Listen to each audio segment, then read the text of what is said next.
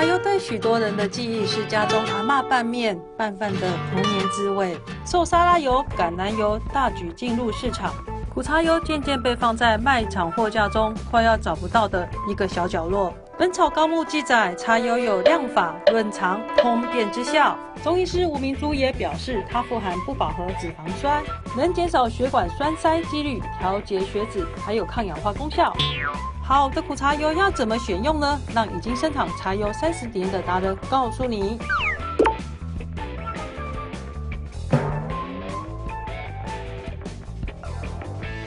不新鲜的茶油会有呛鼻的油泡味，新鲜的茶油则有淡淡的草香。拿起苦茶油上下摇晃，气泡细小且持久，代表油脂浓度高。可滴几滴在手背上均匀涂抹，如果皮肤一直泛油光且有黏腻感，油品就不纯哦。茶油若被皮肤吸收且不粘手，代表品质很纯正。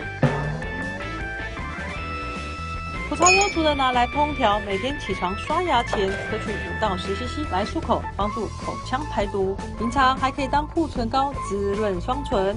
加八十 CC 的菜瓜水，三十 CC 茶油和精油少许，也可做成护发水。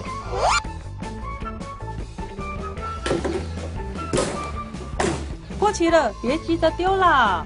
它可以拿来擦拭木头家具或不锈钢器具，也可以拿来当成家中脚踏车、机车的润滑油。中新闻苦茶油真是美味报道。